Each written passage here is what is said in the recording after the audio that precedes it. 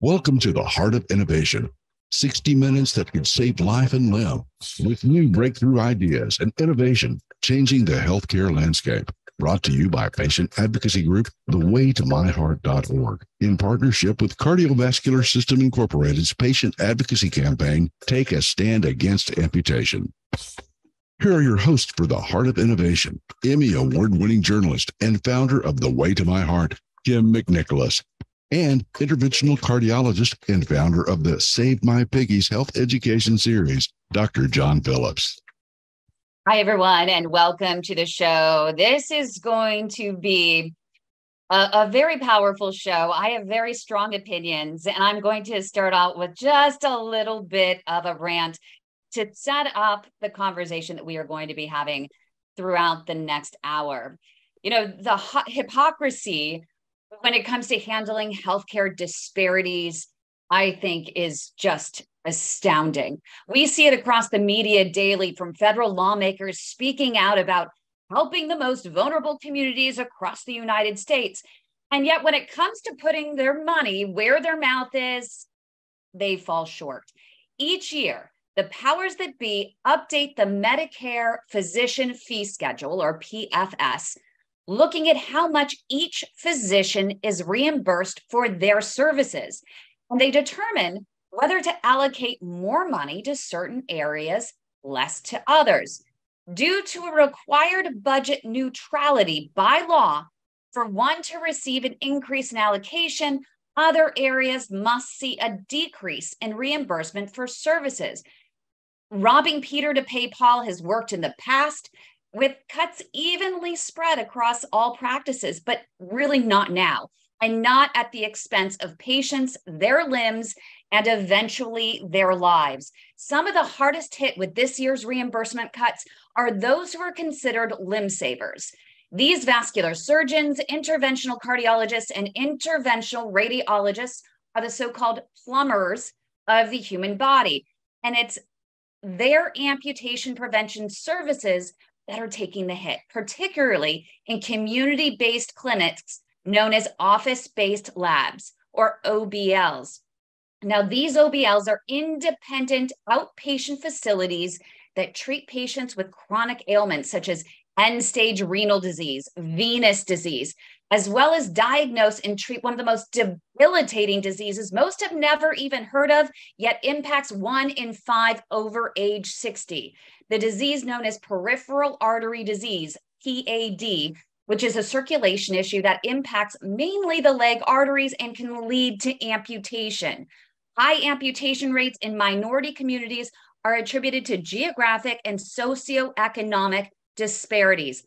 OBLs infiltrate these communities to reach the most at risk patients where they are, breaking down many of those barriers to timely diagnosis and timely effective treatment. This helps patients live a better quality of life and become less of a financial burden on our healthcare system. But this care is in jeopardy, and that's what we're going to be discussing on this show, along with vascular surgeons Dr. Paul Gagne and Daniel Nathanson, both with the Cardiovascular Coalition, helping to fight for the rights of these doctors in OBLs. So, with that said, whoo, off my soapbox. John, what do you think? Is it time for a moment of of inspiration I, before we go well, into this heated discussion? no, I, well, I, I just have to say, and this actually dovetails into uh, my moment of inspiration. Um, but you really pulled the the pin out of that grenade. Uh, so th- this should be an interesting conversation because, um, you know, I I don't know, and at least where I practice, we and it's a hospital based system, and we don't have an OBL. Uh, you know, we try to provide and i think do a pretty good job of providing care to everyone in our community yes there are disparities w- within distribution of care uh, i'd be interested i will have to explore what you said further I, i'm i'd be curious to know how the the obls are are helping that so this will be this will be a good conversation but man this will you know I next time we do we, we, we, need to get some you know legislator or someone who um, is involved in, in some of these uh, decision makings on the hill uh, with respect to reimbursement. So, at any rate, looking forward to this one. This this will be a good one. You know, we, we don't shy away from from controversy, do we? We we address those tough topics head on. well, right. Never let a good crisis go to waste, right? no. So before we get into this whole debate, let's have a moment of inspiration. Dr. John Phillips, spectacular vascular moment of inspiration. Well, so again, the dovetail of pulling the grenade as to what I said, uh, June 6, 1944, D Day. So we just celebrated that a couple days ago. I think that's what, 79 years. I was looking for a quote um, just to kind of uh, speak to, to the nature of the individuals who, uh, at least were from the Allied troops who, who kind of landed on Normandy. And I think we lost about 4,500 soldiers or so. And obviously, you can get uh, quotes from Franklin Delano Roosevelt and Churchill and things in that nature. But I, I found this one from Private First Class Joe Leszwinski, uh, who you know again just a literally a soldier on the on, on the beach, and he said, "quote I don't feel that I'm any kind of hero. To me, the work had to be done. I was asked to do it, so I did it. When I lecture kids, that is what I tell them." And wow you know, again, let's talk about the PAD work that we do here. There's work that needs to be done. It's gonna it's getting done at other places, whether it's in a hospital or an office-based lab or an ambulatory surgical center. And I'm really excited to hear from our physicians uh, who are on the on the show with us to kind of get their opinion and understanding of of of the process. So, with without any further ado, let's let's jump into this. I do think that you know anyone that is involved in in treating peripheral artery disease is truly a hero. There's so many people on the front lines, whether it's someone on the front office answering the phones, whether it's you know a nurse practitioner or even a chief of marketing officer. I last night had a patient that was told by uh, one hospital after a CT angiogram, never had any sort of endovascular procedure with wires and balloons or anything before, he wants to do this is frontline treatment at this hospital in the middle of Ohio. I almost sent her to you, still May. Aorto, aorto bypass, just on one leg, femoral bypass, wants to do a fem-fem and a fem-pop all in one big procedure. So well, I call up this marketing person and I say, Oh my gosh, you have an office based lab that's right nearby there. They're opening up next week help me. And she gets on the phone with the doctor. The doctor calls me at 6.30 at night last night and was like i just looked at the ct angiogram. Uh we can do this with wires and balloons. This is no problem. Again um and and more than one way to quote skin the cat surgery is always a, a, so you know i sent two patients to surgery this week after i did the angiogram. But to our point we always stress this to the patients that are listening. Get a second opinion get a third opinion make sure you're comfortable with the game plan. Uh, you know, physicians aren't necessarily, in my opinion, out there to just cut on people f- for the sake of you know doing a doing an operation. But you're right. I we'll have to talk offline because I want to see where you sent this patient to in my neck of the woods. Yeah, you never know. They could be coming your way. You know, I don't care where the doctor is, what facility they're in. I'm just looking for the best, most effective, timely care for the patient that is right for them, which also depends on insurance, depends on their comorbidities, comorbidities, a lot to consider. But it was really one of those situations where it proves it is important for patients to have options. And that's what we're going to start discussing with Dr. Daniel Nathanson and Dr. Paul Gagne coming up right after the break. So stay with us. Welcome back to the show. Today we are talking about Medicare cuts for physicians and the impact it might have on options for patients with one of the most debilitating diseases most have never heard of, yet impacts one in five over age 60, one in three diabetics over age 50, and three in five people who suffer a heart attack have plaque buildup in their legs known as peripheral artery disease or PAD. We have with us vascular surgeons Dr. Paul Gagne and Dr. Daniel Nathanson. Uh, they're with the Cardiovascular Coalition. They're trying to educate legislators on these cuts and why they should roll them back.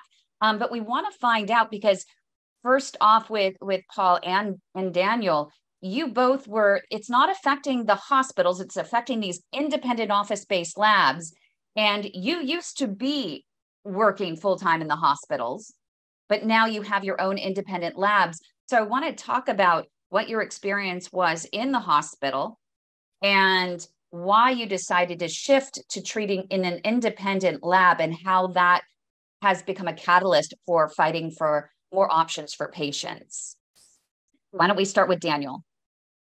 Uh, yes, my name is Daniel Nathanson, and I um, have an office based lab in San Francisco. We've been there since 2015, so it's been almost eight years.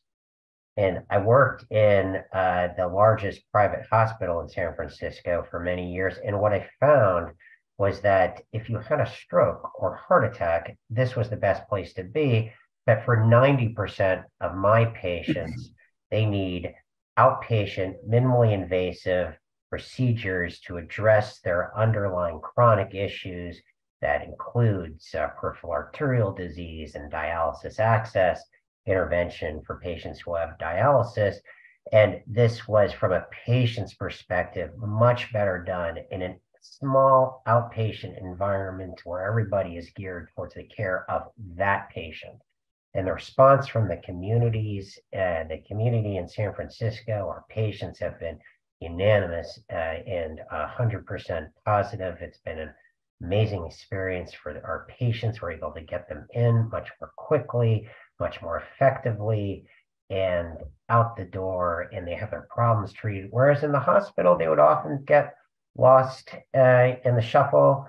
Uh, there'd be other priorities, very sick patients with acute problems, but now the experience has been much better for our patients. And I think COVID shed light on the value of the office based lab and the limitations of a hospital in treating some of these patients with peripheral artery disease, venous disease, and who need that dialysis access. There wasn't that timely care for them. For them, you know, a lot of the, they were prioritizing the COVID patients, of course. I mean, why wouldn't they? But we had a patient, for example, and just an example of literally hundreds that we helped during COVID to go from the hospital to an office based lab simply because these hospitals at the time with a pandemic were overrun you know by and, and they were overburdened. So we had one patient in particular they were they said hey we if we got you in today we could literally treat you but we can't get you in. We have no room. We can't even get in the in the in the lab. So come back in a few weeks when we slow down and we'll just amputate it. We were able to get them to an office based lab and actually get them treated right away and saved their limb and, and that's just and, one of many yeah, and Daniel, obviously, you bring up a, a fantastic point about the value of an office-based lab or OV, OBL or an ambulatory surgical center ASC. The nim, very nimble, and you can get patients in quickly. I mean, they're very efficient. Um, but but Paul, let me ask you this question because you have an office-based lab as well. I, I believe Medicare and the insurance companies save money by sending their patients to these facilities as opposed to the hospital due to just how the technical fees and and you know the overhead right. at the hospital versus the ASC OBL is that is that true? The problem is that we have this flexibility. Uh, we have complete control of that schedule those resources. And as uh, Daniel pointed out you know in the in the hospital sometimes we're standing in line behind behind patients that are sicker and although the patients that we're taking care of with gangrene or non healing wounds at risk for amputation uh, may be at risk of losing a leg, they're not imminently at risk of losing a life. So they get lower on the pecking order. And uh, sometimes their condition deteriorates while they're waiting to get that care. So we have that flexibility. But is there not, isn't there um, a Medicare and the insurance companies save some money by sending patients to these facilities as opposed to the hospital, correct? Yeah, the reimbursement uh, to the facilities and hospital, excuse me, to the facilities and doctors in the OBL, maybe a third of what it is to, to the hospital. And so the taxpayer and Medicare are saving money uh, using these facilities and for, for the exact same service the patient would get at the hospital. And you know what's interesting to me is even though it does save them money, they still prioritize emergency care. If a patient goes through emergency for in need of revascularization or restoring of that blood flow in the legs, they're quicker to move forward and approve that in an emergency versus in an office based lab. Our experience is sometimes it takes one, two weeks to get approval, if at all. which just seems like it, it, We had one patient in Georgia who went to the emergency room at 10 o'clock at night. We got the call. They were going to cut off her leg first thing in the morning. And she was courageous enough to say, No, I have another option. We got her to another doctor at an office based lab over in Atlanta. And he was able to go in with a quick balloon and and a wire and save her leg. No problem. It took 25 minutes. I mean, I, I, would hope I would hope that that's a outlier. Uh, it's um, not. But but um, I wish it was. You know, again, I, I think as we mentioned, the efficiency and the ability to get people in the same day, I think it makes it very attractive to the patients as well as the, the referring physicians to look to physicians who can do endovascular work in an, in an OBL versus the hospital. So not only are the patients better served, but it's an excellent point. We are saving taxpayers and Medicare a third of the cost. And so the patients, uh, it's a better experience for the patients. It's more effective. It's more impactful. And on top of that, we are uh, are saving the system and the taxpayers money. And what we found in San Francisco, especially where our costs are very high, we've had 30 to 40% OBL reimbursement cut. It goes year after year after year, and we're not going to be able to sustain it much longer. And it's going to be a real problem for our community in San Francisco if our center closes down because we are the only one. And I won't be able really to practice in the hospital at this point the way I'm able to. I won't be able to serve my patients. And that's where I'm going to have to go if these cuts continue. Well, coming up right here on the Heart of Innovation, we're going to talk more and get into the heart of these cuts and the impact they're going to have. So stay with us. Before we went to break, we were just beginning to hit the tip of the iceberg, I think, with respect to the cuts that are going to be seen in the office based labs and presumably the ambulatory surgical centers. So, uh, Daniel, I'll start with you. Tell us what exactly, you know, what does this mean for a, a, a small business owner such as yourself, right? Well, yes, that's exactly right. Um, we are act as small business owners. Um, it's our responsibility to balance the the needs of uh, our community uh, with the needs of our office. We um, reimburse all of our employees just like any other um, small business. We have to make sure that their retirements and benefits and everything else. And on top of that, we have to make sure that everybody is focused in a team oriented fashion on the patient and because of that, um, it's been a very successful model. Uh, on the other hand, if we continue to have to endure these cuts, the model will no longer function because we're getting a thinner and thinner margin and eventually we'll just start to lose money and we're not that far away uh, from that with all of these cuts well, yes. I mean, not only the cuts at the same time, 8% what in, in inflation. So you're barely at break even. And that's leading to a lot of consolidation in the office based setting, right, Paul? And what, what is the impact of that on patients and, and potential um, choice when it comes to uh, that? So when you have consolidation, then the natural next step is let's cut out uh, access in areas that are not doing as well. There's not as many, not as much of a profit, or there's not as much. The, the balance sheet is challenged more, and and as a result, sites of care get closed down, uh, and and patients have to travel longer distance and have bigger barriers to overcome to get the care they need. So consolidation is also and tends to drive up the, the care of cost the cost of care in those areas. So it uh, really defeats the purpose of these office based labs, right? Which are the ones that are infiltrating these most vulnerable communities and trying to democratize care to some of the minorities, African Americans, Hispanics, Indians, who have the highest risk of amputation. It, yes.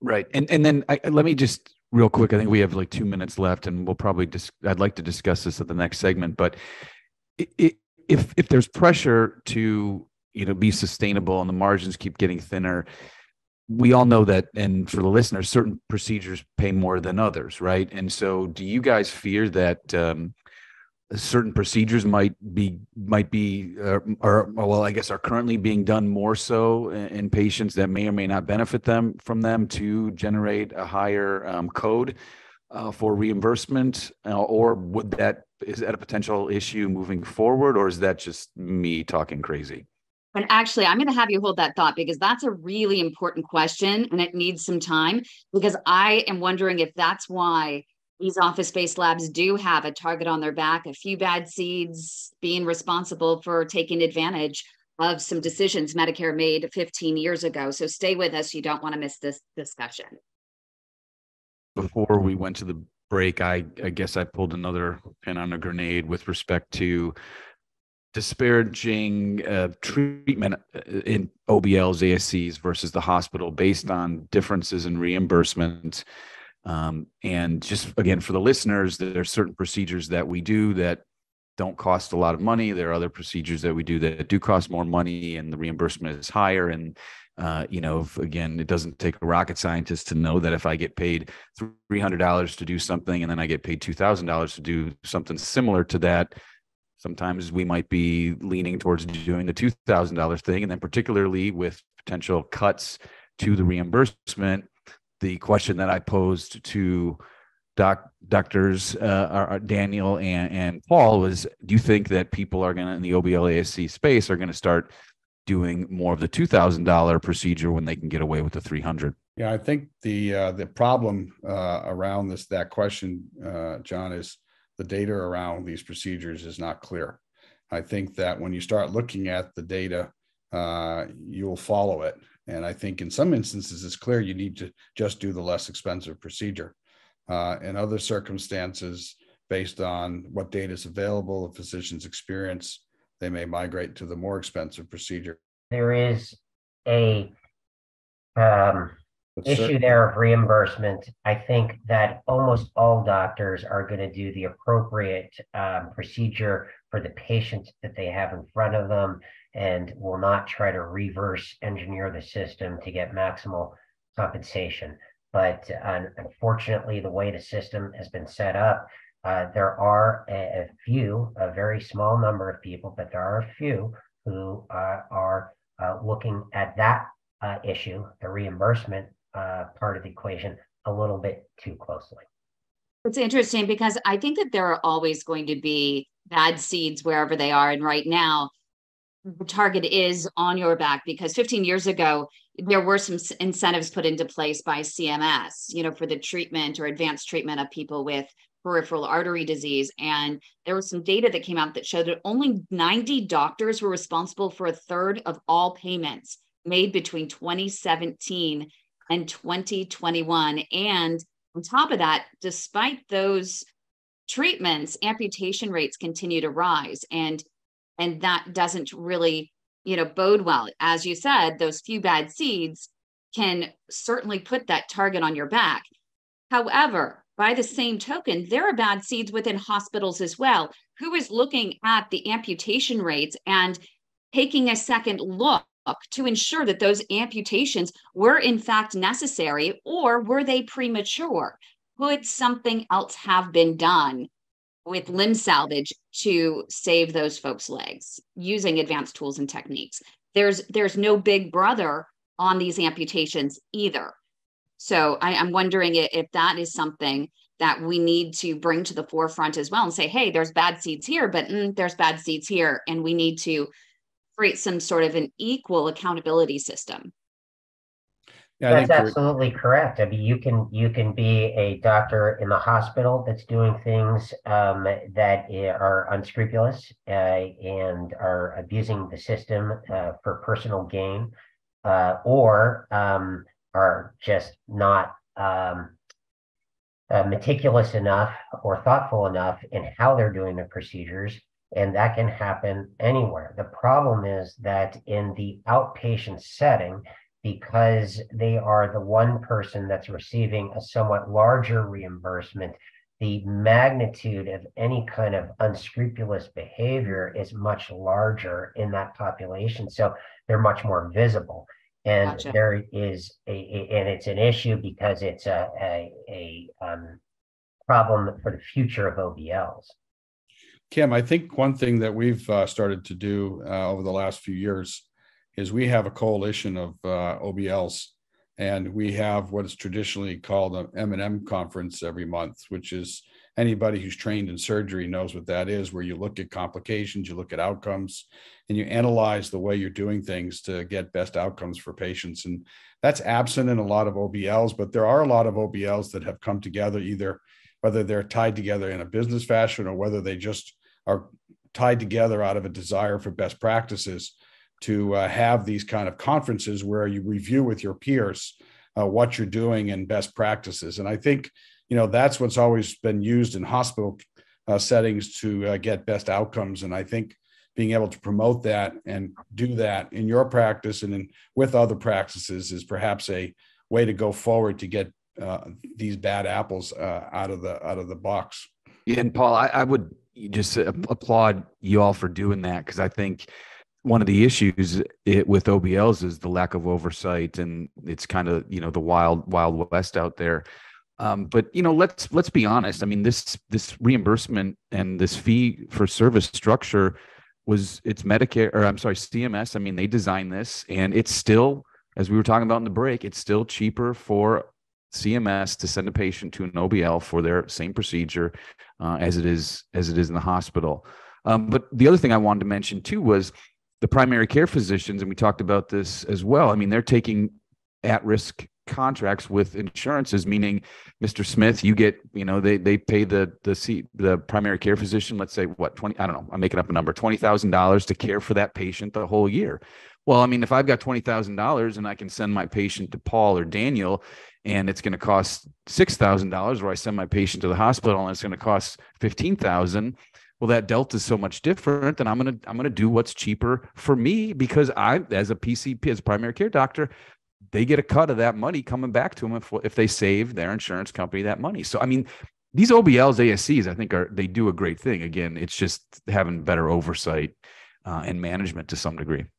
And, and John, that's about, I was going to say that's the whole strategy about the capitated care, right? Is to cut costs. I'm sorry, Kim. That's okay. So I'm curious about this new legislation. How is this going to help uh, maintain these OBLs and possibly have some sort of maybe bipartisan support in this? That's the only way you're going to get this through. Um, tell us about this new legislation, what its goals are, and um, how likely it's going to come to fruition and, and pass. So the the new uh, legislation that's been sponsored by uh, Dr. Bill, um, Congressman Bilirakis uh, and others uh, in a bipartisan way is designed to offset the labor costs uh, that uh, were um, increased or rather reimbursed at a higher rate for a lot of the primary care doctors.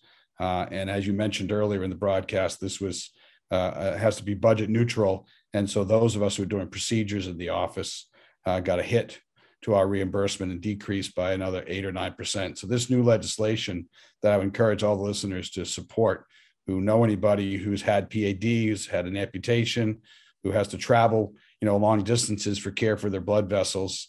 Uh, if they support the legislation, is designed to decrease that cut so that, as uh, Daniel said, uh, we can stay in business and continue to provide this care. Without this bill, which is going to essentially uh, salvage our OBL, I mean, you know, there are are thinner margins in areas of increased overhead and also probably thinner margins with doctors who are uh, more interested in in making sure that the indications for their procedure are solid and that the uh, particular procedure that they're doing is correct these margins get thinner and thinner and thinner and then it gets to the point where we just can't uh, support our practice and what this bill does is it actually allows us to stay in practice and coming up right here on the Heart of Innovation, we're going to find out what resistance they're facing and hurdles they have to overcome to get this through. So stay with us right here on the show.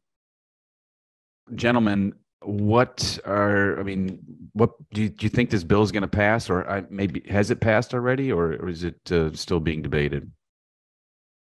now this is a bill that's uh, recently been introduced and is still very much in the uh, process of Congress to try to get to a, a resolution and uh, to pass it.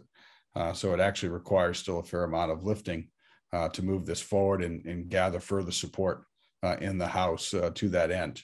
As Kim mentioned, of course, it's a bipartisan bill, which is great. Uh, but in the busy Congress, there's a lot to do, and we need to make sure that this bill stays front and center on the agenda. So this is HR 3674. And uh, if we can get uh, voices across the country to uh, speak to their congressmen and support it, uh, that's how we're going to get this uh, across the finish line. Daniel, who who's resisting it? Who's button heads with you guys to to push this through? Who's who has the potential to prevent it from happening, and what is their power? You know, it's it's a little bit unclear. Um, I think that there's always a push to cut costs to save money, uh, combined with uh, the few bad actors and um, you know a bad reputation for certain procedures because small numbers of people abuse them. Uh, that's the only thing that I can think. I mean, it's a little bit of a black box what goes on in, in the halls of Congress and how they come uh, to make these decisions. But essentially, I think that the bottom line is that our voice needs to be much larger. You know, we we are uh, we don't have the numbers um, of the people uh, that are the same as the people are doing these procedures in the hospital and um, you know we, we don't quite have that same exposure. So it's just a i think a, a question of um, hammering away at our legislators uh, making sure that this bill stays front and center. Yes it has been introduced but it has not been passed. And, and as paul says there are, there's a, a lot of heavy lifting that needs to be done to get this across the finish line. And uh, that's a, uh, a big job but i think it's not insurmountable. Paul do you do you anticipate potential pushback from hospital systems? I mean, are, I get, let me ask you this, are hospital systems, are there, are there uh, payments getting cut? The hospital systems payments have gone up uh, as as recently as uh, 2022. So I, I, would imagine that then it would be in the hospital system's best interest to keep patients there as opposed to absolutely. they just have the, the, the the loudest, the biggest lobby. It comes from the hospital, and and ours isn't you know as, as large as theirs. You know, it's, in, right. it's, it's really interesting though, as hospitals, even the nonprofit hospitals, have to make enough money to stay open. And for the types of procedures we're doing in the OBLs, we have data that across uh, multiple hospital systems that show that actually they lose money doing these procedures. Yeah. Uh, that they are, you know, hospitals are designed for really sick people uh, who need big operations and big procedures, and that's not what we're talking about here. We're talking about sick people, but need minimally invasive procedures. And so, you know, even though a lot of hospitals uh, come out against this because they don't understand it well, uh, in reality, it's in their best interest. But as uh, Daniel said, it's not clear who's against this, and I'm, i often wonder if it's just inertia uh, that uh, keeps these things from happening. Yes, here's the here's the deal. There are enough patients to go around. Supposedly, according to the Sage Group's Mary Yost, she's saying that there are more than 18 million people in the United States alone with peripheral artery disease, and we have yet to even, you know, get even a, a small percentage of that in there and get them treated soonest. So there are plenty of patients to go around for any for anyone and everyone already in hospitals. I have patients waiting months, even half a year, up to a year to get in for a vascular consult.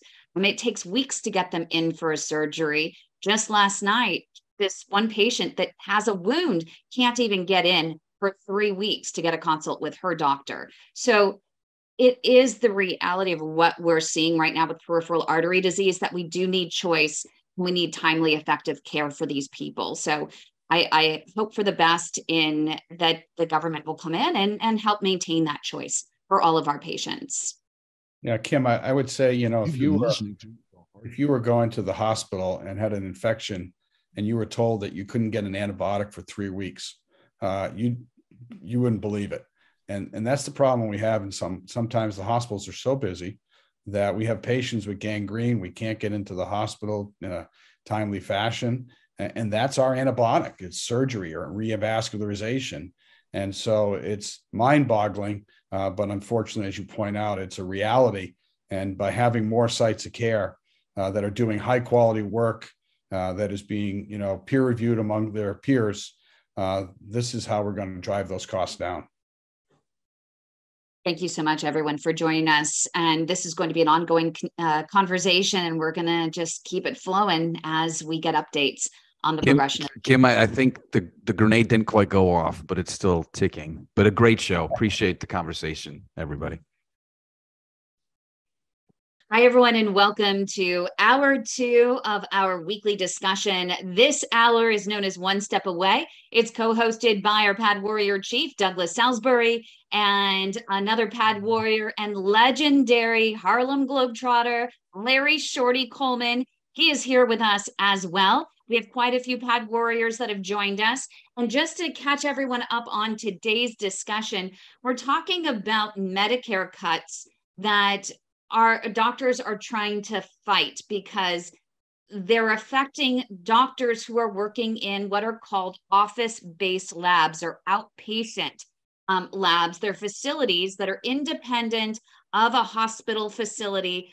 And it's where they only treat, let's say, venous disease or peripheral artery disease, or they do dialysis access and that kind of thing. So we are going to open up the discussion. We want to talk about what these Medicare cuts are, how they're affecting or may affect you as a patient and your options that are out there. But we want to hear your experiences about getting treated in a hospital versus an office based lab, whether they're horror stories, success stories, whatever they might be. And we have Dr. Daniel Nathanson. He's out of San Francisco, and Dr. Paul Gagne, who is out of Connecticut. Both actually are vascular surgeons in outpatient patient facilities who used to work in hospitals.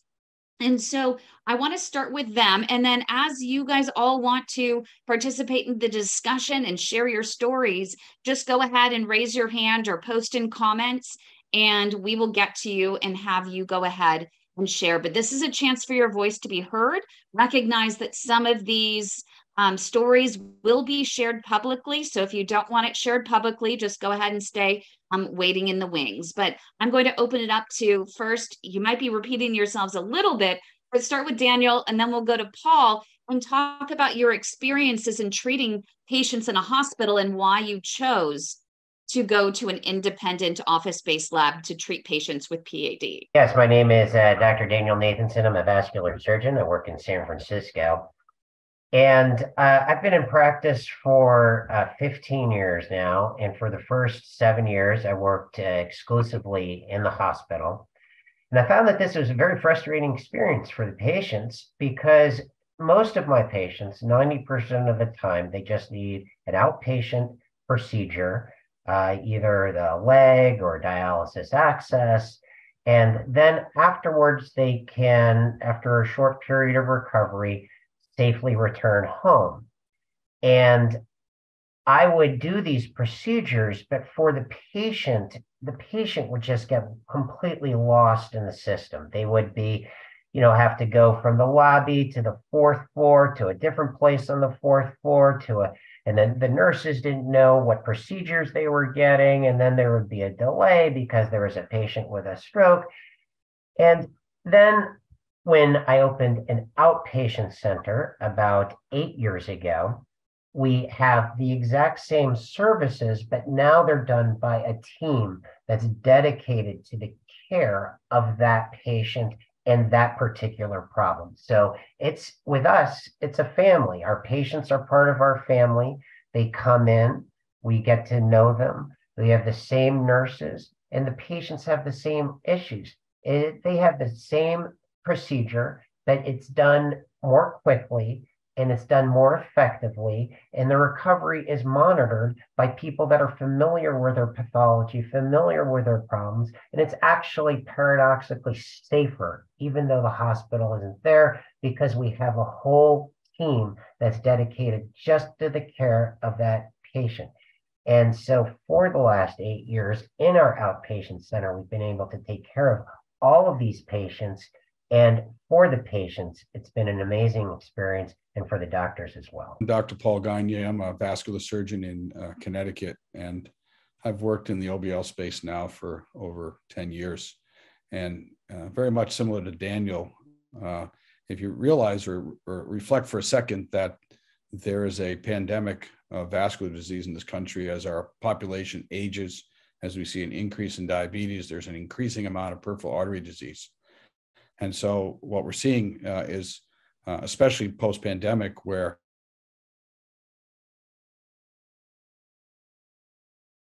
Oh no, I think that that Paul froze. We might have to give him a moment to come back and and and join us. I mean, I, I can actually pick up a little bit. I think that the point that Paul was trying to make is that because the hospitals were somewhat inaccessible during the COVID, we were able to step in and really provide a, a, that service on an outpatient basis to these patients who were in a situation where they really couldn't get care elsewhere. So um, it was um, uh, emphasizes the importance of our role to the care of the vascular uh, patients in all of our communities. I think uh, Daniel's right, and and I think that uh, the hospitals are still recovering from this. They're still trying to get uh, fully staffed up, uh, and it's a chronic challenge. And we have staff who are dedicated to one disease state and one disease state only, which is vascular disease and interventions to treat it and fix it. And uh, we do it efficiently, and you know, it's a type like anything else in life. The more you do it, the better you are. And if you're doing it day by day, uh, you just get very good at it. Uh, and that's to the benefit of patients. Uh, you're not trying to educate the staff how to do these cases uh, in the process of taking care of the patient. Yeah. I'm curious from the patient's perspective. Um, if you have any questions, you're more than welcome to jump on. I think Marcia wants to speak up. Well, I just had an experience I was going to share. Um, when I had intervention for PAD at a hospital with a with a wonderful, wonderful interventional cardiologist. But in recovery, you know the band they put on your artery to clamp it. Um, it was on my foot because is that retrograde access, I guess? Yes. Approach. So, uh, but it was on my foot, and my foot literally turned like deep dark purple. It was on so tight by a nurse. This was in July, the end of July of last year, so 2023. And she wouldn't listen to me. I said, it hurts. My whole leg was cramping up. It was, it was so painful. I finally took a picture and sent it to Kim, and she messaged my doctor who was in there lickety split and got the thing off. But evidently the nurse wasn't a routine, wasn't routinely doing that part of a procedure and and was not knowledgeable. It could have I don't know what could have happened, but um, it was on there for too long and it Marcia, hurt. that's a, a great point that you're making, and it's I, I my nurse, I, my desk where I sit is literally 15 feet from where my nurse and by the way all all my nurse does is take care of vascular patients she can just mm-hmm. walk right down the hall and get me. And she's also taking care of 2,000 patients with this exact same problem. So it's a it's a really good point. I appreciate you uh, for bringing that up because uh, well, doctor, my doctor was not far away. It was that she thought she had done it right and that that was normal. And that you know, was a major issue. I mean, I'm not a doctor, but I certainly can tell, or a nurse, and but I can certainly tell when something is is seriously wrong. And I appreciate a, a doctor that you know when I have them on speed dial that he or she answers my plea for help. Um, this was actually via Twitter. Hadn't gotten on speed dial at that point, and he saw my my note pop up in his notifications, and he was like, "No, thank you." They didn't even notify him. And I think that that's also the value of being in one of these independent facilities is there isn't some sort of um, revolving door of, of staff that and there's also a huge staffing shortage at a lot of these hospitals right now so bless their hearts all of these people are just you know working working and working and working and being shuffled around to all these different areas of these hospital centers versus in an office based lab you do have this continuous or continuity of care I was in, I've been in quite a few um, office, uh, not office based labs, but um, labs within hospitals. And there was one in particular, I've experienced this mostly at the university hospitals, not as much as at a regular community hospital, but you know, it hits five o'clock and there's a nursing change and there's a tech change. And in the middle of a procedure, and this has happened multiple times, where they stop down the procedure where they're at as long as it's safe. And then they have to do a whole um, shift change. With other nurses, other techs, and they all have to brief each other and all that jazz. And well, of course, the doctor has to remain, right? But the entire staff changes. And I personally would prefer if I was having a procedure done, I would want the same staff from start to finish, just for you know continuity of care. I think um, uh, to your point, the staff that replaces the day staff may not be as experienced with these type of procedures uh, as as you'd like, and so you're basically you know you're you're have a team behind you and surgery and procedures is all about teamwork. I'll jump right in because we're we're of the same mind. You know i when you when you do something over and over and over and over again and you have a team that really cares and they're the same team that's been with you for eight years you're going to catch a lot of problems that you wouldn't otherwise catch uh, so much better for the patients. can you talk about these cuts that I mentioned in the beginning? I know we talked in the first hour about them, but we have a few people that are joining us. And we also have Larry Shorty Pullman, who's going to be piping in here in a few minutes with his experiences and his insight and asking some questions, as well as Douglas and possibly Hines. I think Sid is there as well.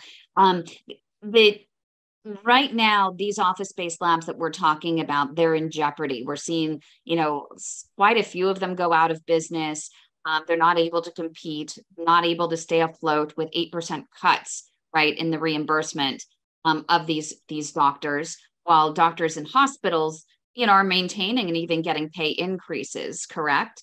Um, and on top of that, the other issue, just to make matters worse, is then you have 8% inflation. And so either they have to go out of business or they have to consolidate where they come together. I, I know in cardiology, this is happening a lot and we're also seeing a lot of private equity firms come in and buy up a bunch of these vascular centers so that you can create this this mass negotiation for medical supplies to bring down some of those tips, right but a lot of you would rather stay independent and feel it's better to be independent. So you can still make your own choices and continue to give the best care that you can without having anyone you know get in the way and be financially driven right? Absolutely. And um, you know that the 8% cuts this year combined with 8% inflation is a, a double whammy that it's 8% cuts this year on top of similar cuts in the year prior and the year prior to that such that when we made our business plan in 2015 the numbers were 30 to 40% higher than they are now. So our margin becomes very thin, and it, this wonderful model is at risk of evaporating to the huge detriment to our uh, community. Yeah, and unfortunately, uh, we're looking at another set of cuts uh, that are planned for 2024. And oh so, no! So it's uh, it was is this just a string of cuts that they do, or is there another reason for those cuts? When the cuts were started uh, a couple of years ago, it was planned to phase in over multiple years, and so there's programmed cuts coming down the road for us. Wow, Daniel, what are those cuts that we're talking about down the road? Additionally, so we already already had these eight percent cuts, or is this the eight percent cut that's just going to be total? Right so they, there's an initial i mean it's a little bit again of a black box and uh, we don't quite know what to actually uh, expect each year because sometimes the cuts go through and sometimes they're reverted but as things stand now we're due for another coming up another significant cut uh, and that might be the end of uh, the obl in san francisco if that doesn't get averted Wow. I have a question. Yes. Um, I imagine that it's the same way across the country, but eh, here where I live, um, we have two major health networks. And I don't know, it, it's probably is the way it is. And my doctor is in another town um, with the major hospital network are you guys like independent of networks? And I'm wondering if that's why, because that's the big business. It's like a conglomerate with the hospital networks.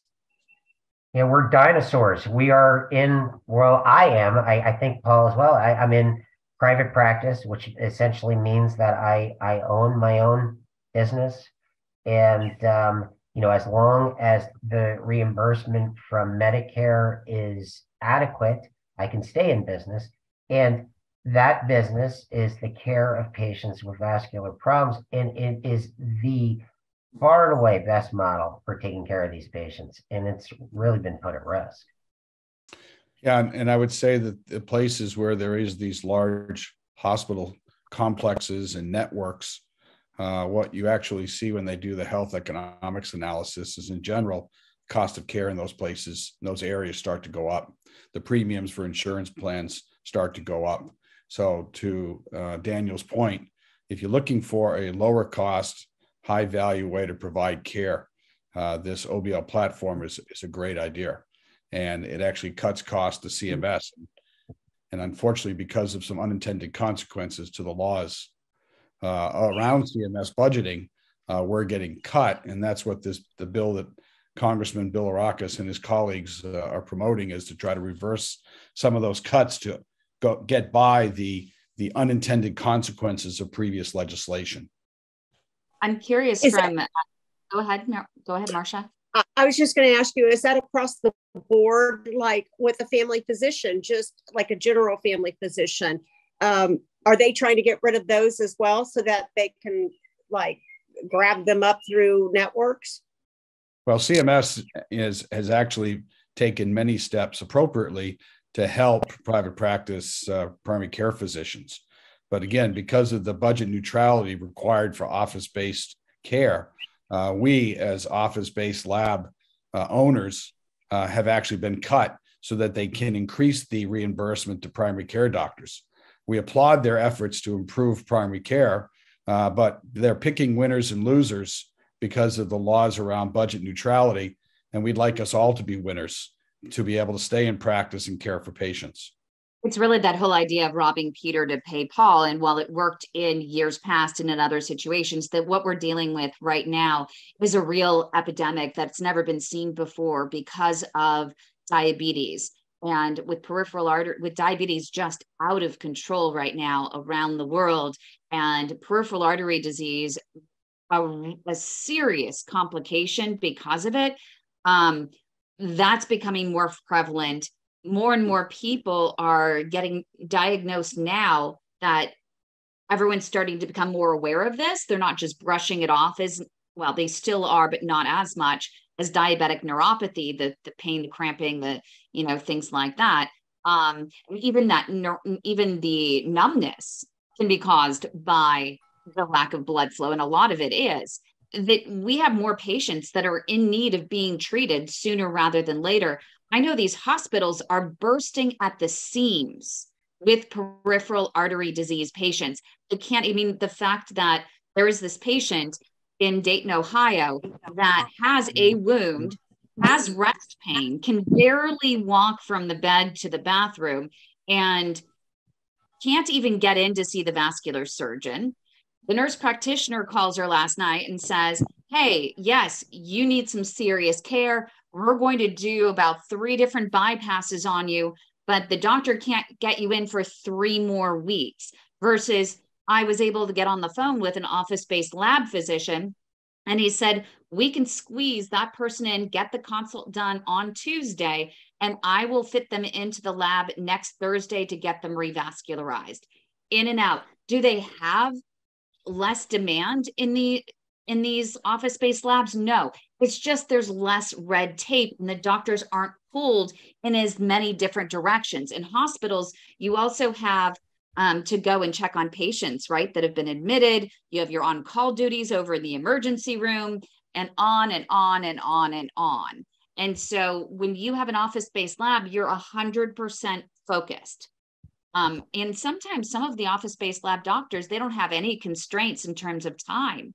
So you're able to spend so much more time on patients. And I've had even doctors call me at 10 o'clock at night saying, Hey, I just finished the case. I'm going to stay here till one o'clock in the morning with this patient. I might even get a hotel nearby, blah, blah, blah. You know, really putting patients first when it comes to the care that they need. So um, I, I find a lot of these passionate doctors, such as yourselves, you guys don't stop working, do you? You're you're never off. Uh, yeah, it's kind of what we do. I mean, vascular surgery is not a, a nine to five job. it really isn't. No, it's very true. Um, Larry, do you want to jump in and, and share just some of your perspectives of what you're hearing so far and your experience um, being treated in both a hospital and an office based lab? You might want to unmute.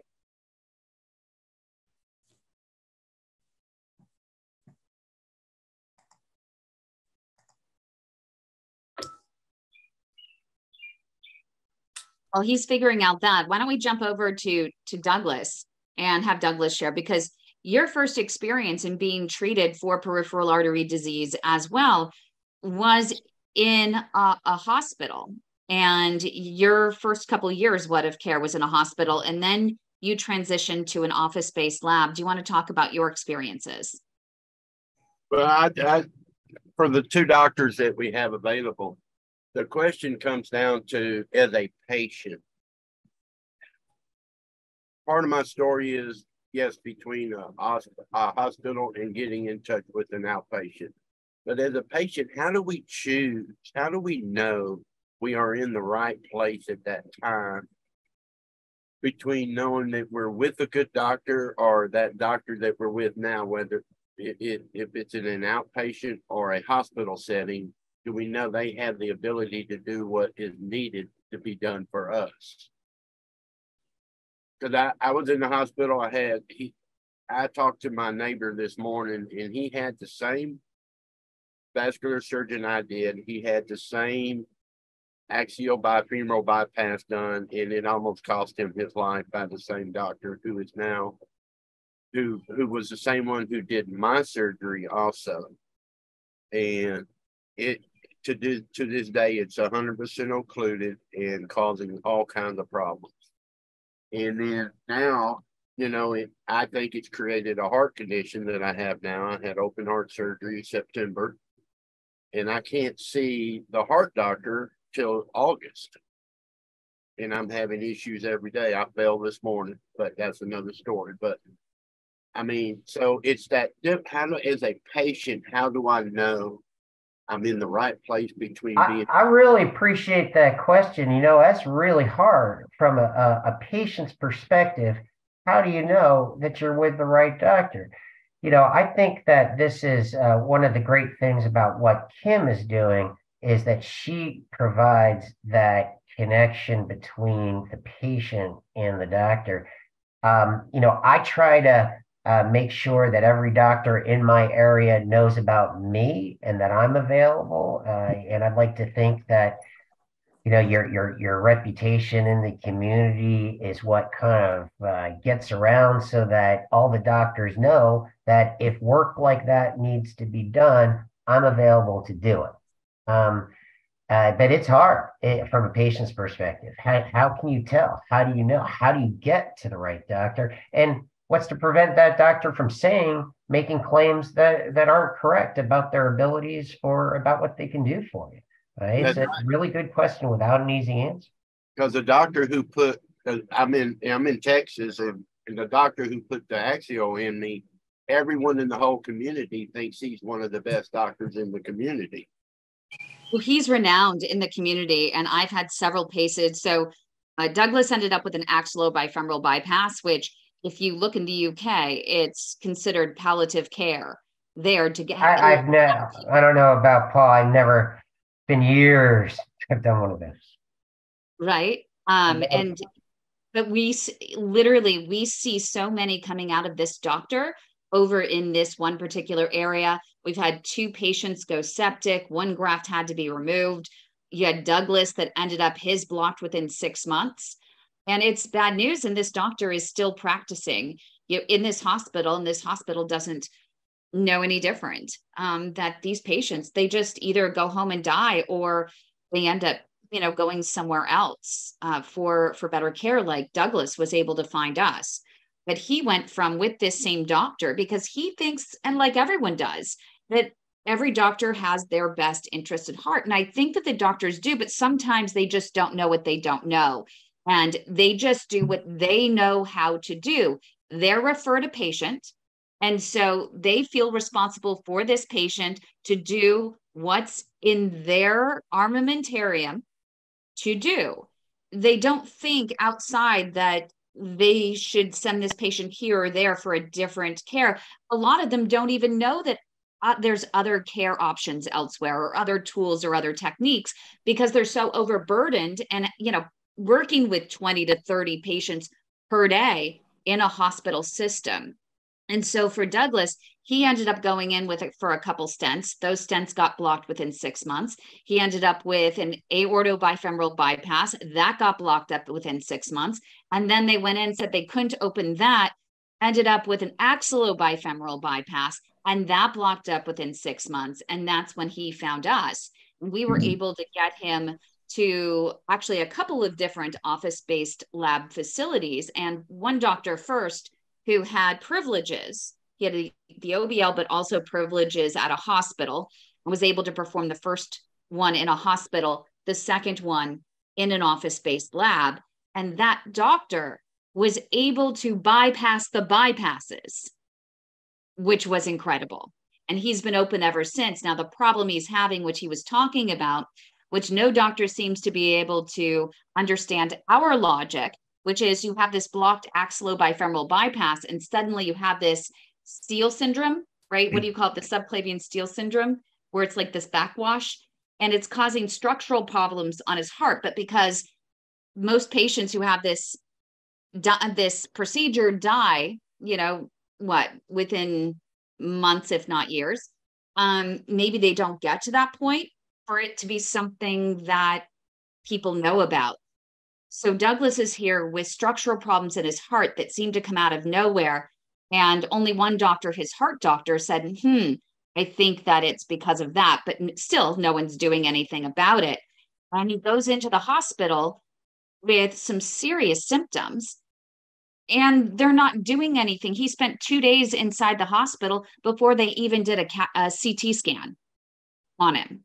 He was just sitting there in the hospital with severe symptoms, passing out. He's, he tells you he falls. He his blood pressure was not normal.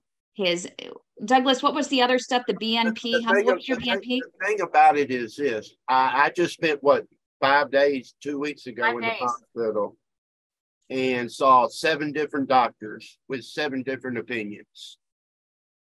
And that I think that's part of that insanity. But what I've learned through this group and what we are trying to help our client, our patients with, is that learning ability. Because what I know now about when I saw Dr. Z, oops, when I saw the doctor in Houston compared to who I had here in Beaumont, just the sound of him in that outpatient setting was different than the doctor was in the hospital. So, and how so? How so, Douglas? Because I, I think it was what Larry, from the moment I walked into his office, it was a hundred percent different than when I was in the hospital hundred percent by the from the first lady I met who took my name to when I saw him. And all the questions that I brought with me that he was able to answer compared to what the when I was in the other one, he just called my brother and said, We're either going to do this or you're going to lose your leg. Remember? And that was very simple. So it was kind of like, what was my brother supposed to say? you know? So it is that it's it's it's it's the, it just that big a difference as a patient is what I deal with today. I called this morning to tell them what was going on, and they said, "Well, sorry, we we just have no openings. If you if you feel like you need to go to ER, go to the ER." But then what happens is I spent what five days a week two weeks ago and saw seven different doctors while I was in the hospital. Oh. Well, I, I, think what you're talking about, Douglas, is you know, in the outpatient setting, the system that it's being threatened, we we take a real ownership of our patients. Uh, our, when our patient comes into our office, uh, everybody uh, from the receptionist to the nurse to the tech to the medical assistants are all geared towards one thing, which is taking care of that patient. Whereas in the hospital and some other settings, hey, people have different agendas. Uh, people may not know the full picture. They might not have all of your best interests at heart, but I can guarantee you that in my office, everybody's geared around the care of every patient that comes into that office. And it, it is, it, they become part of our family. I'd like to chime in. Go ahead. Yeah, um, I might be the exception and not the rule based on this conversation. I went first to a hospital with leg pad and uh, had a couple atherectomies. And of course, the plaque came back, and the doctor at the hospital said, Well, um, I think if it gets worse, we might have to do a FEMPOP bypass. And that's when I contacted Kim. And based on what Dr. Nathanson said, yeah, Kim is your resource. And I contacted her. And I went from a hospital to a OBL in Denver. And uh, you're right, the one on one experience is a lot different, but I have no complaints about the hospital. I really don't. They treated me first class. Yeah, I, I just think-, think they reached their limits. And, you know, they didn't know how to handle a recurring problem or they weren't, you know, like I said, they wanted to push me off for a FEMPOP bypass. And the new doctors in the OBL said, no, let's try this and let's try that. And I, the doctors I was uh, recommended to were from Kim, and they were a big lifesaver for me because I'm fine now. I can't say I'll always be fine, but I'm fine now. But again, but I might be the exception, not the rule, because I have no complaints about the hospital. Well, except in and they did treat you kind. They just only could offer you the options that they could offer you. They didn't offer you or allow you a second opinion within the facility. Right. And, and, hospitals play a very important role in a lot of what we do. We still do in hospitals. You know, as a vascular surgeon, we do aortic aneurysm repair and carotid interventions. And you know, our our relationship with the hospital is still one of of importance. And there's nothing. You know, don't get me wrong. I, I don't feel, and I don't think uh, we have a, a inherent um, you know, without the hospital, we wouldn't be able to do a significant amount of what we do. It's just that for a lot of what we do, the office based practice is much better suited. Yeah, I think, you know, the hospitals play an important role. There are certain types of procedures that need a hospital. But as uh, Daniel said, you know, not everything needs a hospital. And remember, these are general hospitals. So they're taking care of patients with cancer, taking patient care of patients with broken bones, who need back surgery and hip surgery. And so um, it's not always possible to be an expert at everything. And, right. Yeah, so, exactly. Not an expert at everything. Right. So, so there are other ways to uh, access care. And I think, you know, um, talking to your doctors about other options and looking for second opinions is always something that's that's important. But at some point, you end up having to place your confidence in somebody uh, and and move forward. Uh, and but but it doesn't always have to be uh, where you started. And I think you made a good move to look around and see if there are other options. Right. I mean, she you, kept uh, Kim kept saying that uh, go for a second opinion or a third opinion. That's uh, struck home with me. And with that, uh, when I had my last atherectomy, um, angioplasty, I actually had two doctors doing it. not one, two doctors in an OBL situation. I was elated. I mean, seriously, I, I couldn't ask for anything better. Well, and I will tell you that there's a technology just got approved by FDA this week that is a FEMPOP bypass that can be done through small punctures in the skin uh, in an OBL setting uh, mm-hmm. over a couple of hours uh, rather than making incisions and having to do a bypass. So as technology evolves, the setting, these outpatient settings for doing uh, interventions for PAD uh, is only expanding.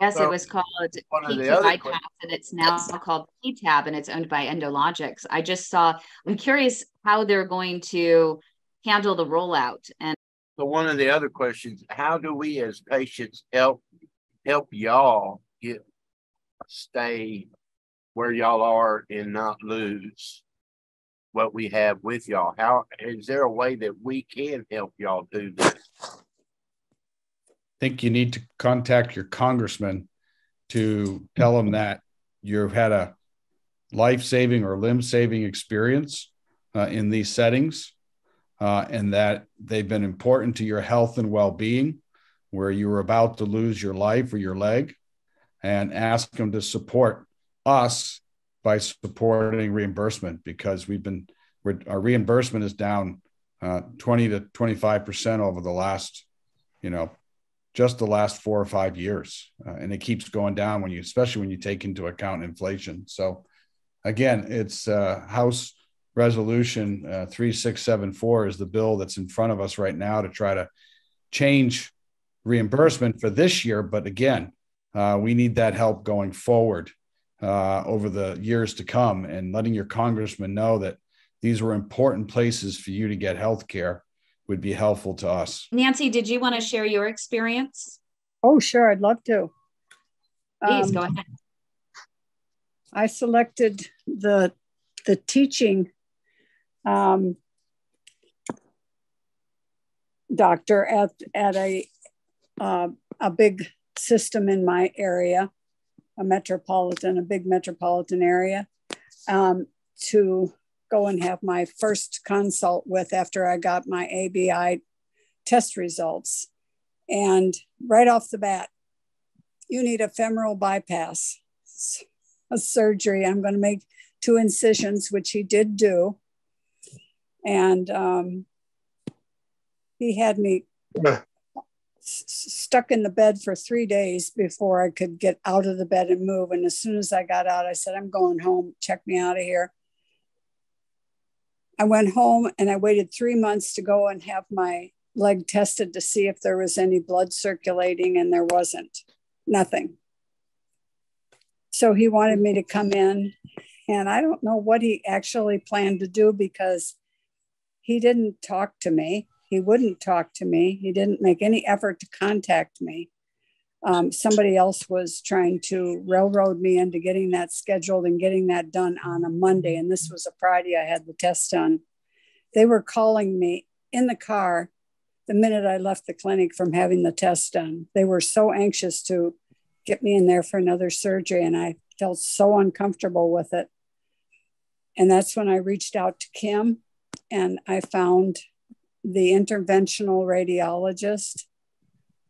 Um, as opposed to the vascular surgeon who didn't even bother to address the block that was causing uh, my leg to not have any circulation below the knee. He just simply did the surgery and let me sit there for three months, not able to walk and in pain with a leg that was never going to recover because he didn't address that. But he wanted to start all over again. So I was just thrilled to death that Kim was able to find someone in my area and I was able to get it done. Um, I think I saw him, I, I dropped some discs off from my results on a Saturday at his home. He called me on Sunday. I was in his office on Tuesday for the first meeting, and Thursday he did the procedure. So. And this was at an office based lab. Yes. Yeah. What was yeah. the difference in terms of experience for you um, being in an office based lab versus a hospital in expediting your procedure and providing a variety of options for you? Well, I was confined, like I said, to the bed because they had me catheterized on account of the fact that they gave me a spinal as well as sedation for the procedure because he said it was going to last three and a half to four hours, but it only lasted a little over an hour. And that was really annoying. But um, I, I guess they what they did was they're testing for some company a new device which is called a drain. So they had that taped between my crotch and my abdomen um, the whole duration that I was in the hospital and for a week afterwards. And when they took it off, there was absolutely nothing in there.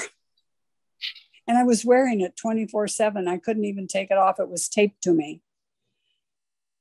You know, I didn't have to do that when I walked out of the interventional radiologist. All he did was make, make one little tiny incision that he didn't even have to stitch close. He did tell me he put uh, a stainless steel plug in there that he can take out if he has to go back.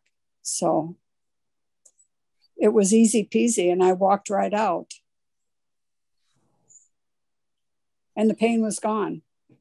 You know what? What so I think tends to happen is that as vascular surgeons of a older generation, you know, if you have a tool in your toolbox, that's the only tool that you have, you're going to use that tool. And it's, um, I think it's fortunately less common as we move forward to have a vascular surgeon who isn't also trained in the minimally invasive techniques. But yeah, you know, there's actually been a, a new study that came out that suggests uh, definitively that um, patients live longer and do better if you do the minimally invasive procedure as the primary procedure, which uh, in your case, Nancy, it's clear that if you had had that from the get go, you never would have needed that stay in the hospital no. and that operation. And, and it's uh, uh, just a question of getting the word out um, in our community. Right. So, that, you know, uh, we, we right. applaud Kim's efforts in that regard. And yeah, and the, go ahead. Um, the the problem is, is now I'm living with this inflated thigh that's holding on to that bypass, doing absolutely nothing except I'm having to carry it around, and I'm still lifting that leg into the car every time I get in there. Nancy, what can I ask you? Did, did they use um, a uh, pro, a um, plastic tube to do the bypass or Gore-Tex tube or, or, or did they use your own vein? What they told me was, you don't, he told me this, you don't have any veins that are viable to use for this transplant. So we're going to put a cadaver vein in there. Okay. Yeah, I mean, it's, it's actually interesting in, in the last six months or so, uh, there's a large study that's been in, in place for many years in the US uh, looking at the role of minimally invasive techniques. Uh, and, and another study just came out recently out of Europe, uh, and they came to similar conclusions, which is the majority of patients who are older with other medical problems may not have a good vein, as you pointed out, Nancy, do better with minimally invasive techniques uh, that as a first line th- therapy.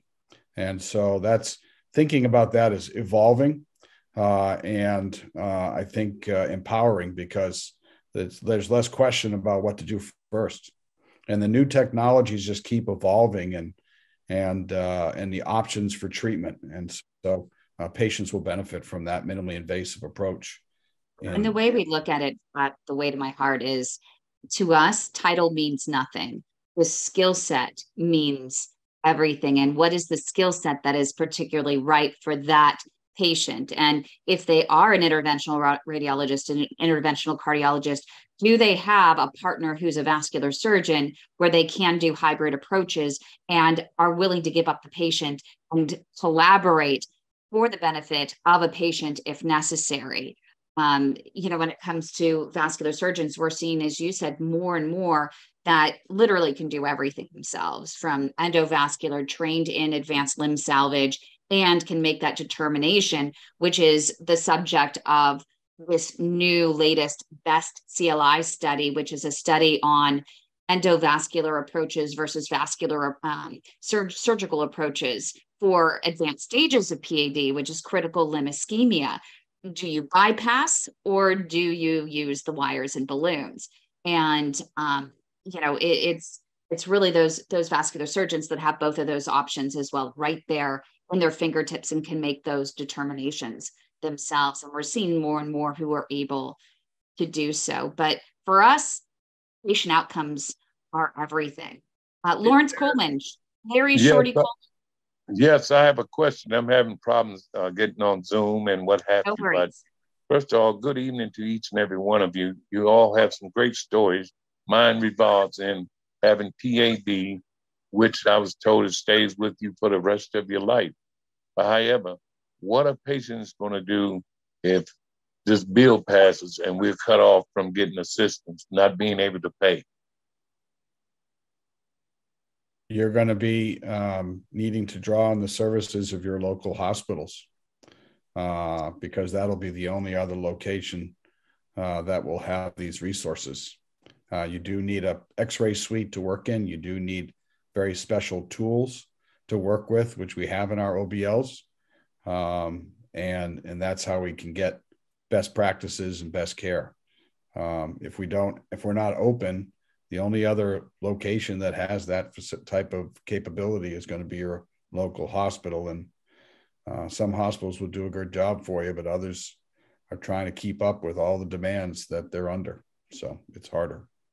Yes. And the next question is Do you feel that a person with PAD immune system gets affected by that disease? Um, you know, there there can be a lot going on with um, our patients who generally have uh, uh, many comorbidities, and um, the uh, underlying um, peripheral arterial disease can have an inflammatory component, and there may be uh, an immune component to that. But I will say that that's not one of the things that we usually look for primarily in our patients that have peripheral arterial disease. But I would say that patients who have peripheral artery disease, the cause of that peripheral artery disease may be something like diabetes that can affect the immune system. So you may actually have an immune issue and PAD due to some other underlying problem. Yes, and thank you very much for that answer. And uh, mm, Douglas, question for you. How you doing? Well, I want to go. Dan, what is the difference between like the Gore-Tex valve replacement or the Gore-Tex thing and like having a regular valve or one of your regular veins? Well, the Gore-Tex tube, which um, will use if we don't have a vein available, uh, is prone to infection um, and blockage at a much higher rate than if we have your own vein to use. So uh, most uh, vascular surgeons and all vascular surgeons should, uh, we believe, use the your own vein if it's available. The problem is that many are just too small or are uh, varicose or have been harvested for a bypass. So we don't always have that option. So I'm curious, Larry, if you um, when you were dealing with with your care in a hospital versus office based lab, talk about the timeliness of your care. How quickly you were able to get in for your appointments? Were you able to get in? To see your doctors in the hospital versus the OBL. Can you talk about those experiences just from the timely, effective care perspective? Well, for me, it was just basically having really bad pain, and I went to emergency. And wasn't the greatest idea of going to emergency, but when you're in pain, you want to go somewhere. However, when I went, this individual came in as a doctor. I won't use names, but first thing he said to me and my family at that time before COVID hit, that I needed to have that leg amputated right away. I was totally against that. So I decided to leave. Once he left the office, I mean, the room, I checked out and I said, whoever want to stay, stay. Then in, uh, I'll say less than a week, I was right back in to emergency and I asked to see more than one doctor, which I thought was smart on my part. However, I had to see eight doctors to make a decision. However, COVID did happen and I stayed 10 days. They always decide what's best to do, do this surgery. I had eight surgeries to save this leg. And being a former athlete, boy, you talking about a hard decision. Very difficult for me. So those of you out there that don't think it's uh, crazy to make decisions, these kind of decisions save your life. Though I realize that now. But going to a regular doctor wasn't gonna work for me. They put you off until you go to this person or that person. I hope that answers your question. And basically, I just pray that no one else had to go through what I went through. Right, but, but prior to the amputation, your experience was you weren't able to get into um, your doctor for timely, effective care for that leg to um, make sure it didn't advance to the extent that it did, where it was limb threatening. No, I never got a chance to go to my regular doctor. I went to emergency, like I said, because of the pain. Yeah, the pain got so great. You couldn't get an appointment soonest to get into a regular your your regular supervising physician. And so you ended up having to go to emergency. And in emergency they're just just going to try and get rid of that pain. And they said amputation. Well he said that i had several blockages and which i wasn't aware of what blockage was former athlete. I know from my mom she had uh she didn't have blockage. She had blood clots because of diabetes and i started putting one and one together i said I don't know what I've done wrong to cause this. But nevertheless, Kim, it's difficult trying to go to a regular doctor. They oh we don't have any openings at the time. You're the one in pain. You have to make a drastic decision. Yeah. And so, how has the experience been different in working with an office based lab such as oh, you are right now over in Atlanta versus the previous facility? Oh, it's a hundred percent different. And I thank you once again for referring Dr. Red. I don't mind using doctors' names when they do great things. And I, I think all of them try their best to do a great job. But this is the one that I experienced that's doing good for me, being that I have several blockages in my other leg. He opening up two of them. One is 90% blocked. And I'm just hoping and praying once I start to walk again with the prosthetic, that everything will be fine once I take some of the pressure off. That's what I'm hoping. How is it in terms of describe the experience with the front office and making appointments? Are you able well, to feel like you're able to get in sooner rather than later? Oh man, it's all it takes is one phone call. Well, okay, we have something scheduled such and such date, which is good for you. Yeah, I had a variety of dates to choose from and I chose the best one for me, along with you know providing a ride through your service, and it was a piece of cake for me. They're very upfront and professional. Have you had to go to the emergency room since working with the OBL for your EAD since? No, it, the pain went away. I'd say eighty percent.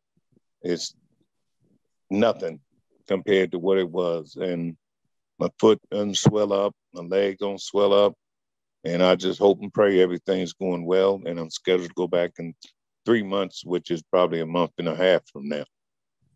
What is your relationship like with this vascular specialist versus the one that you were experiencing in the in the hospital? What's the feeling? What's that relationship?